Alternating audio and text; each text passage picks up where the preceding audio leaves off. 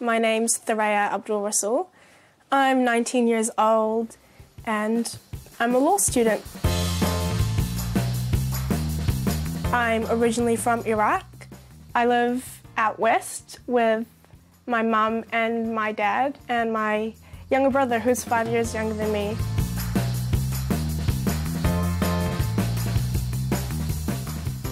But not for long because I'm moving to Wellington. Yay! Well, maybe yay. Um, the reason why I'm moving is because I didn't get into law at Auckland University. And also, I don't know, maybe kind of any excuse to leave home and get to experience living by myself.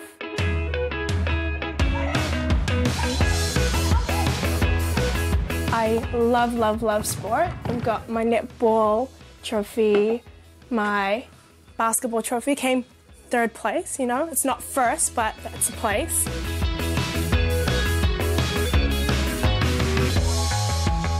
I'm in a football team made up of all Muslim girls. We met up through a Muslim association. Right now, me and my team are training super hard for a tournament that's coming up in a couple of weeks. Okay, just come in for a second. Your mission is to take a ball off one of these players. All right, so once you intercept the ball, that person that you've taken the ball off then becomes the tagger. Make sense? Yeah. All right, this is our warm up. All right, let's go. Play.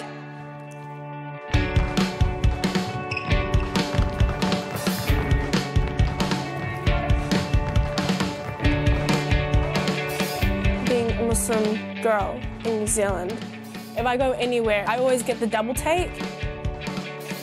When I go out to the mall, when I go to the beach, and every time we play sports, it does make you self-conscious. For me, and I feel like for the majority of Muslim girls, it's just this barrier. So through the soccer team, to be honest, it makes me feel like I belong somewhere. Going to Wellington and leaving these girls behind is going to be really hard.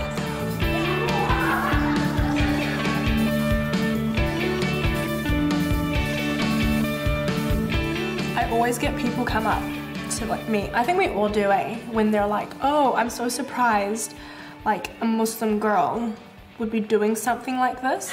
It's the same thing in Middle Eastern countries and stuff, Yeah. and you know Muslim countries. I think it's just seen as not feminine to be competitive. No, no, Yeah, that's what I'm like saying. most of the competitive sports, like the stuff they wear as well. Like I mean, Yeah. beach oh, volleyball. Oh yes, that's right. or like netball, or Tennis as well. You have to. It's their uniform to wear a short skirt if you're a female. exactly. So it's it's made the environment really hard for Muslim women to play. I am a Kiwi, so I should be able to go out and play sports without people assuming that just because I wear a headscarf, it holds me back. A piece of material isn't going to do that. And this isn't just with sports, I face this in every aspect of my life.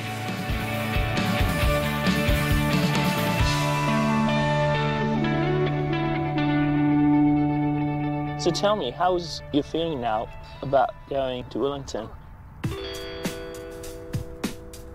I'm really excited about Wellington, but I'm getting real nervous too now. I think you're going to do well.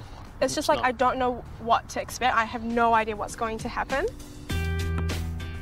I'm worried, especially when I'm by myself. Someone's going to come up and attack me verbally. But I think um, I still expect you. You know how to deal with that. Yes, it is not easy. But at the same time, like remember how many times I have been like verbally attacked? Like having a 30-year-old lady reversing her car all the way from down the street just to like cuss me out. Stuff like that. G- catching the bus and having one of the boys tell me to get off terrorists. But you could just ignore it. I know it's it's something annoying. In Wellington, I know absolutely no one. So, like, in the city, just like walking to the bus stop by yourself, it's like, oh, what an easy target, you know? So, that, that fear, I feel like it is justified. I kind of wish it wasn't.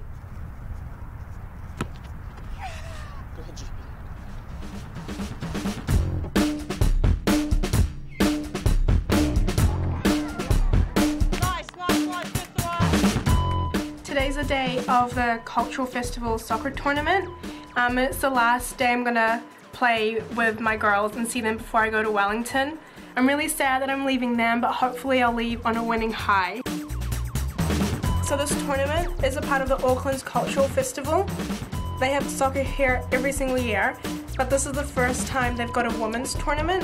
All right, come on in, everybody. Okay, so I hope we're all excited. Um, we are privileged, as you know. This is the first time that a Muslim team has gathered at this cultural festival, so I think you guys should be really, really proud of yourselves where you started and where you've come.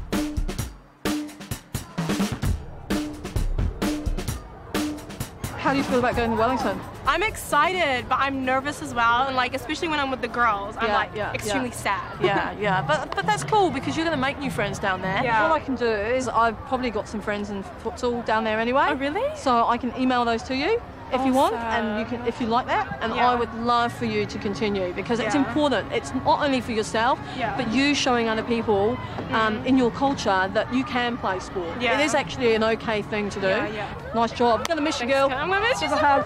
All right, you did so well. Be proud of yourself, you. hey? You'll be great. Pull it into practice, girls, and let's go and kill Mount Roskill. Yes, yes, yes.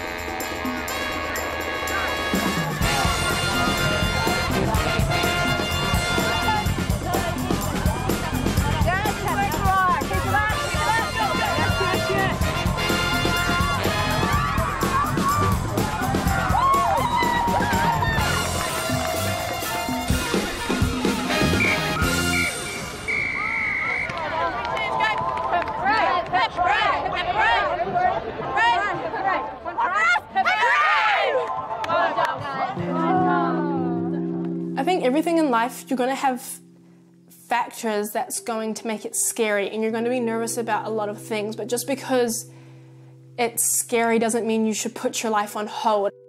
Just because i'm a bit nervous about living by myself a bit nervous about being abused or being yelled at it's happened my entire life. So the fact that i'm living at home isn't stopping it. I think the only difference is now you're going to have to deal with it on your own.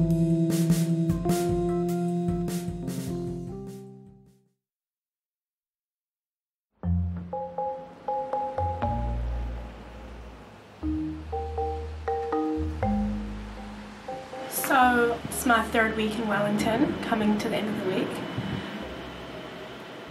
I only got a li- not homesick, but I really started missing my friends last week. I haven't seen many women with headscarves on in Wellington. Because Auckland's more diverse, I feel like it's not really a big deal if you see someone in their cultural outfit. Whereas in Wellington, I noticed that like when I walk down the street, I get a lot more glances. I'm on the bus trying to find halal butcher. Notice I say the halal butcher. There's only one butcher in Wellington. All of Wellington, one butcher. It's pissing down with rain. Didn't put my rain jacket on on time. Hopefully, once I find it, it'll get better. Hopefully, I'll get happier. Yeah. Hi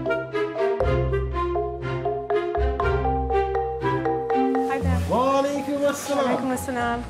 Do you have any like skinless chicken breasts? Whole chicken breast. Yeah, they're yeah. just over there. Fifteen ninety nine a kilo. How many do you like? Can I please have two chicken breasts? Two chicken breasts? Yep.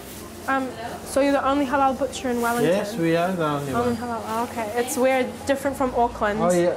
Yeah. Auckland got like I think eighteen or twenty. Yeah, a lot, Yeah. a lot of butchers. Thank you so much. I'll see you in a week. Okay. Bye.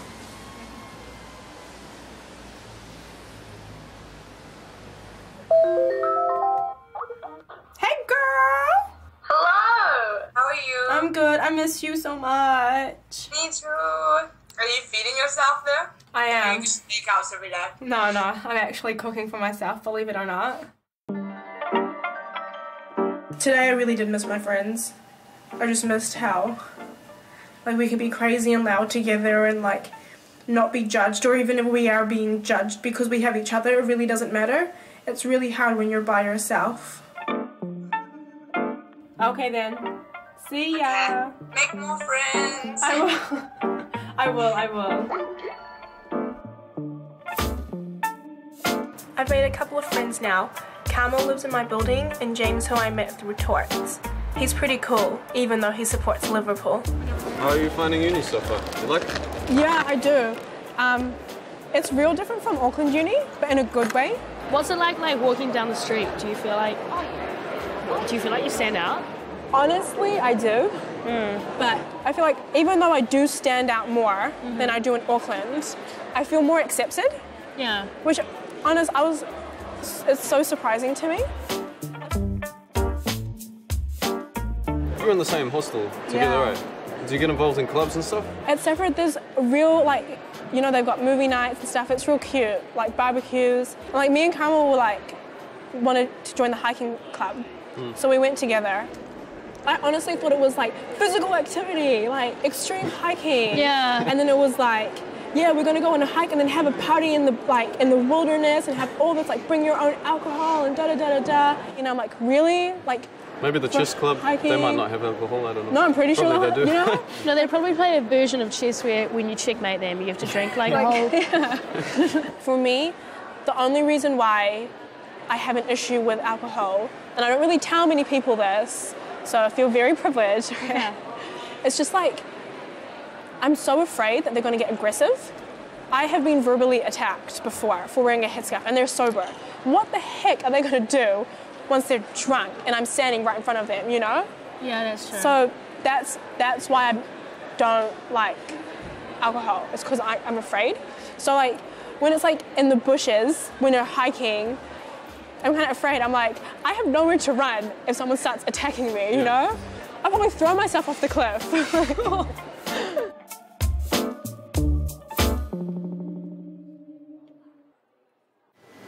So Coach Faye's been sending me emails and um, contacting me about joining a football team down here. I don't really feel like that confident to do it by myself, but me and Coach Faye has gone through all the trouble to help me find a football team. Like I am excited, I'm just I'm really nervous as well. Hopefully I'll remember how to run and like kick a ball and stuff. And just the basics, that's all you need for football really.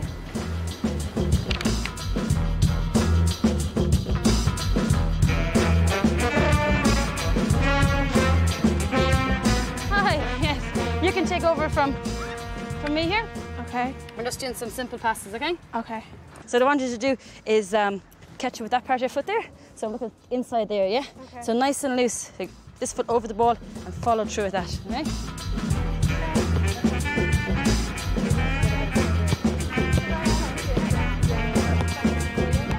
One of the things I wanted to work on coming down to Wellington was being more open and just not shying away. And I feel like I kind of let myself down. Okay. Do you- yeah, you're doing good. Keep your eyes open. The only thing is, is relax. Relax, you know, loosen out. You gotta relax because you'll, you'll hurt your shoulders if you're going for a header in a game. So you gotta relax, lean back, like nice and loose, and then go for it. Okay? After today, I really realized how dependent I am on my girls to like make me happy and like laugh and stuff. So all those things that I wanted to achieve, I don't know if I'm confident enough to step out of my shell and my comfort zone. Maybe I can't play with other people. Great practice tonight. Remember, our game this Sunday is 3 o'clock here at Wakefield. What I'll do during the week is I'll give you all a ring just to let you know what position you're going to be playing in. And everyone remember that after, after the game, we're having a few drinks in, in the club rooms. So we'll have the other team will be in and we'll do a little bit of a presentation of just thanking them for coming. We will see you back here Sunday, 2 o'clock. Kick off at 3. Okay?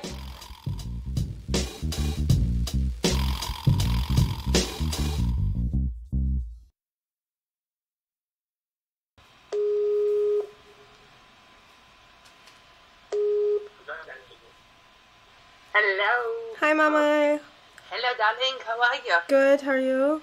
I'm alright. How was your first two days of the holiday? It's been really lazy. Okay. It's not going to stay like that for long. Like the holidays are like beginning, but I'm still going to be really busy, not just with assignments, with. You know that team I went and to the training for? Yeah. that Coach Faye told me to go. Um, Caroline called me, the coach, and she wants me to play. You're kidding. Yeah. Oh, that's good. Yeah. Excellent. All right. Hey, Baba! Hello, honey. Yeah, so they call me to play for the team. And she's like, Yeah, well, we were wondering if, like, you want to, like, play with us, like, this weekend. And I was like, um, yeah, yeah, sure. of course. Um, what position? I don't know. I told her, like, either midfield or striker. But, She's gonna carry the bottles for the player. Oh, thanks! Bench warmer and water boy. Yeah, that's.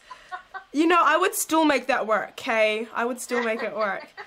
Nah, um, I am a little bit nervous just because um, they have the whole get together after the game thing down here. Um, and you know how, like, especially when it comes to sports, like the alcohol, it's like such a big thing. I wonder how much, like, alcohol is gonna be. Soraya, we, we talked about that before. You, you Yeah. just need to be relaxed about that. Give them their space, um, respect their um, preference, and when you do that, you demonstrate for them that um, you know they also have to respect your uh, uh, preference on this matter. And you know, I don't think they will get drunk straight away, but uh, you know, I don't know how many drinks it takes, okay? I'm kind of new to all. This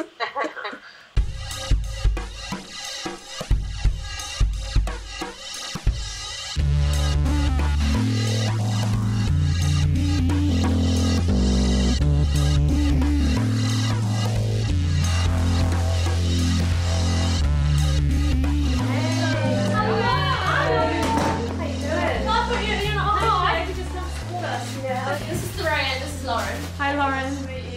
Did you get injured last game as well? No, the last game I was fine in 10 minutes. I'm getting so worried now. Oh my god. No, no, no, no.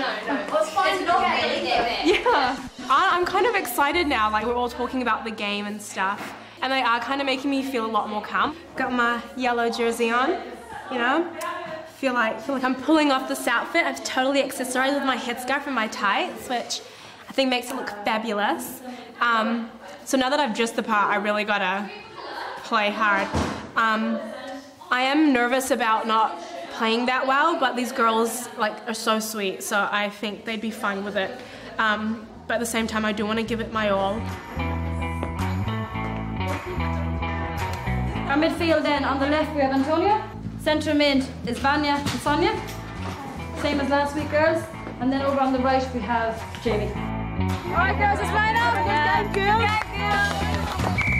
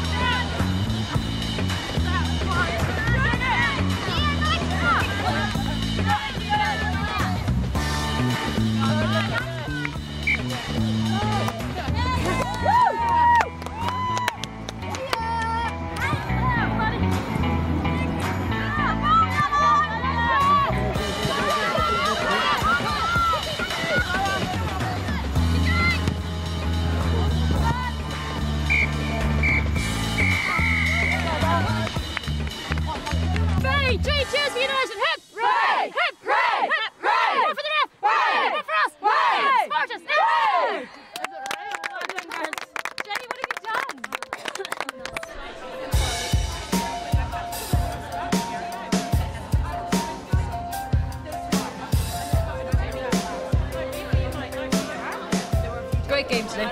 Yeah. You did when you came on, and that was very good. So Uh, I like. I just can't wait to improve. To be honest. you had a few training sessions. Yeah, but it was it was good to get out there. You know, I missed it. So where did you play before this? Um, I played social football in Auckland, like with a bunch of friends, but I never like joined a club or a team. Yeah. Until now. Un- until now. Until until now. Moving down to Wellington, making new friends, joining a soccer team with no Muslim girls on it has been really, really hard, but extremely gratifying. So, would you like a drink? Um, what do you have any like non? Non-alcoholic. There is Coke, orange juice, water, Can I please have orange juice? OJ? No problem. Back in a second. Growing up, I feel like I have been a really paranoid about how people perceive me, and I've let that stop me doing a lot of things. Moving to Wellington has made me realize that it's the problem isn't how people perceive me. The problem is how I perceive myself. Your parents weren't worried about where are you're going to be living, who you're going to be hanging out with. No, do you know that honestly, like, I feel like I was more worried than they were. Like, I was like, okay, so um, I'm moving to Wellington. They're like, okay, yeah, good, sweet, like, have fun. And I'm like, are you not worried? Like, what if something happens to me? Like, how do you know I'm going to be responsible? Like, what if I don't feed myself properly, you know? I honestly never thought I'd be able to do the stuff without having my support system with me. I never thought I'd be able to be this independent.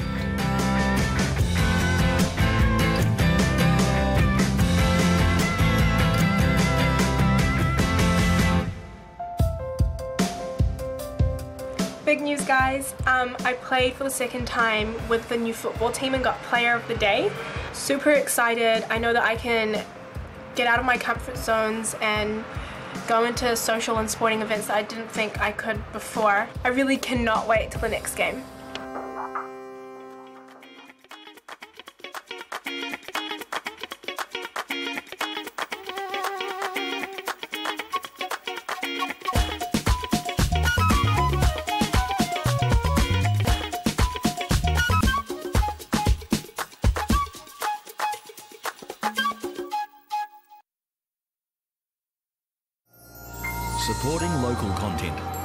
See more of New Zealand on air.